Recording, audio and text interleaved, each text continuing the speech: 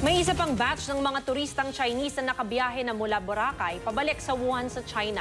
May ulat on the spot si Shai Lagarde ng Stand for Truth. Shai? Mav Oscar, bandang alas 11 ng gabi nang bumiyahe mula sa Calibo International Airport pabalik ng Wuhan, China, ang 179 Chinese nationals. Kabilang sila sa mga turistang nakaalis ng Wuhan bago nagpatupad ng lockdown doon sa gitna ng outbreak ng 2019 nCoV.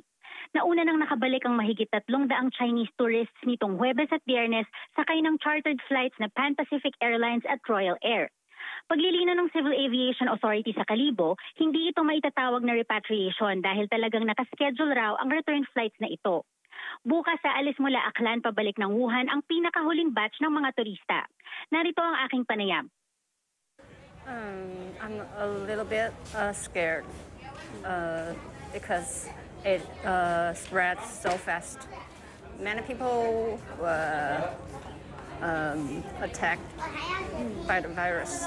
In case po na meron tayong confirmed NCOV na case dito po sa Aklan, uh, we're going to uh, conduct contact tracing. Meron pong ruling ang uh, Bureau of Quarantine na uh, four persons in front, sa side, and backward dapat hahanapin.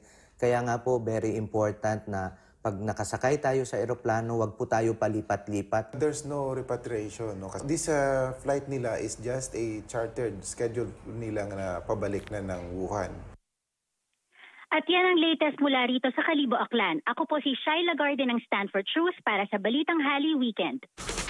Maraming salamat, Shai Lagarde ng Stand for Truth.